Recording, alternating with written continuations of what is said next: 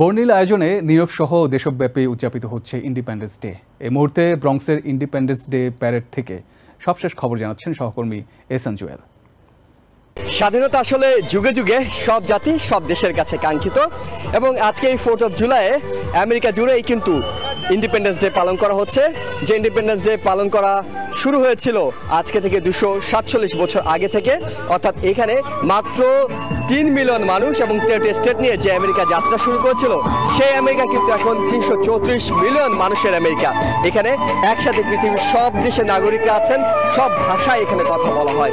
এবং এখানকার মানুষের যে চিন্তার, বলার ধর্মের স্বাধীনতা, সেটি কিন্তু এই স্বাধীনতার ইন্ডিপেন্ডেন্সের মূল মন্ত্র, যেটি মানুষকে স্বাধীন করেছে, যেটি মানুষকে এক ধরনের এখানে যে আনন্দ উদযাপন সেটি এই কথাটি বারবার করে বলছে যে এখানকার মানুষরা অন্তত গণতান্ত্রিক মূল্যবোধগুলোতে বিশ্বাস করেন, নাগরিক স্বাধীনতায় বিশ্বাস করেন এবং একই সাথে তাই দিনব্যাপী বিপুল আয়োজনে, বর্ণাঢ্য আয়োজনে এই ইন্ডিপেন্ডেন্স ডেটি পালন করা হচ্ছে। দিনটি শুরু করা হচ্ছে বিভিন্ন জায়গায় প্যারেডের মাধ্যমে। দেখতে পাচ্ছেন আমার পিছনে প্যারেডে নানা দেশের মানুষরা যোগ দিয়েছেন। অর্থাৎ এইখানকার আমেরিকার যে সার্বজনীন বৈশ্বিক যে সৌন্দর্য, সেটি কিন্তু এই প্যারেডের মাধ্যমে আবারও ফুটে উঠছে।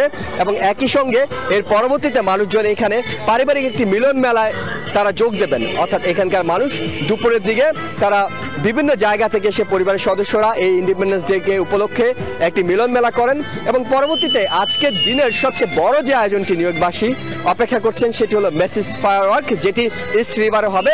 অর্থাৎ রাতের আকাশ পুরোপুরি ছেয়ে যাবে, আতশবাজিতে রঙিন হয়ে উঠবে এখানকার আকাশ এবং এই ফায়ারওয়ার্কটি প্রতি বছর হয়ে থাকে। তাই এটির জন্য মানুষ অপেক্ষা করছেন।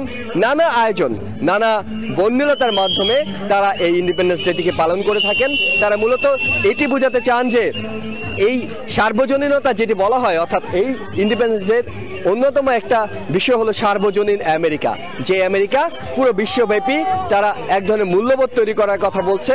তারা বলছে যে মানুষে মানুষে কোনো বৈষম্য থাকবে না, সবাই একই ধরনের সুযোগ সুবিধা পাবেন এবং সেইগুলো নিয়েই কিন্তু আমেরিকার এই যে স্বাধীনতার মূল্যবোধ, যেটি দুশো সাতচল্লিশ বছর আগে থেকে শুরু হয়েছে, সেটি এখন পর্যন্ত চলমান রয়েছে।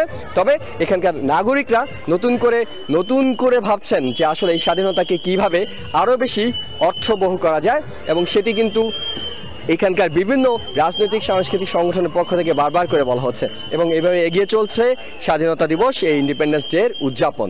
এখন পর্যন্ত ব্রংস থেকে আমার কাছে ছিল সবশেষ খবর। নিউ ইয়র্ক থেকে সম্প্রচারিত টিভিএন টোয়েন্টি ফোর টেলিভিশন বিশ্বজুড়ে বাঙালির কণ্ঠস্বর।